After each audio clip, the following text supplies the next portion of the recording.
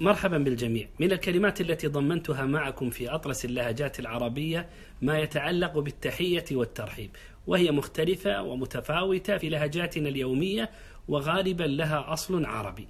يعني مثلا موجود في جنوب السعودية وفي بعض بوادي الخليج يقولون أربكم بخير يعني لعلكم بخير وأصلها يا رب أنكم بخير.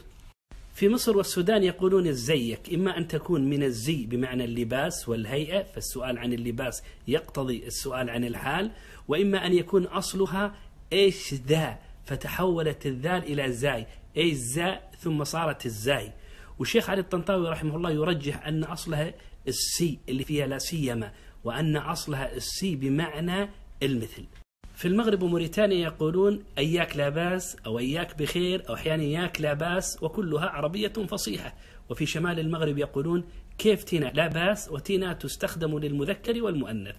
لأن لون الإنسان يدل على صحته سلامة ومرضى لذلك نحن نسأل في الخليج وفي العراق وفي شرق سوريا وفي الأردن عن اللون نقول شلونك أو شلونك.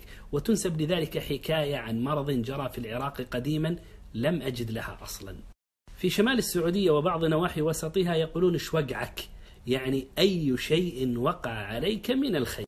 في المغرب والسودان يقولون اكداير لا باس وفي غرب الجزائر يقولون كيراك داير يعني كيف أراك داير؟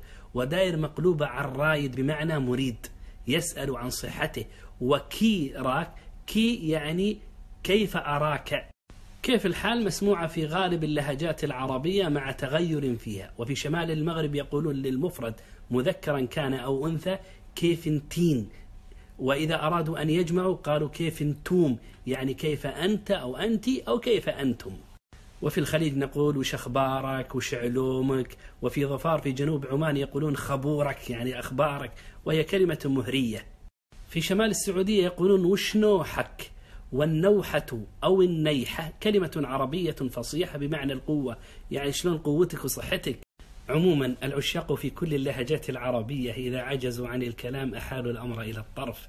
يقول إذا نظرت نحوي تكلم طرفها وجاوبها طرفي ونحن سكوت فواحدة منها تبشر باللقاء وأخرى لها نفس تكاد تموت.